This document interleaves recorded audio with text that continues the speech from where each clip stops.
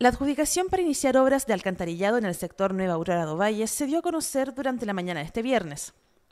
En la ocasión, el intendente de Coquimbo, Claudio Ibáñez, firmó el documento que traspasa los recursos a la empresa para que pueda comenzar su ejecución y así implementar las soluciones sanitarias que beneficiarán a unas 180 familias de esta localidad. Y en este acto hemos adjudicado a la empresa eh, por más de 2.000 580 millones de pesos y lo que busca es darle dignidad a las cientos de familias que viven en Nueva Aurora,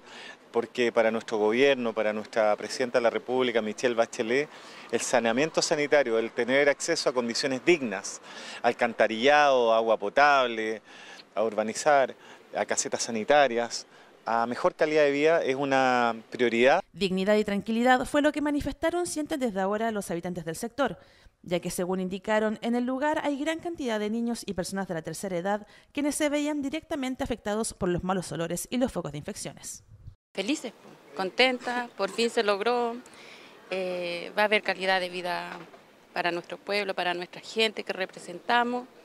y orgullosa, por orgullosa, eh, importante nos sentimos estar acá con la autoridad igual y que esto se haya llevado a cabo. Por ello, y casi después de 10 años y 7 licitaciones fallidas, este es un gran avance que le está devolviendo las esperanzas de una mejor calidad de vida a los vecinos del sector.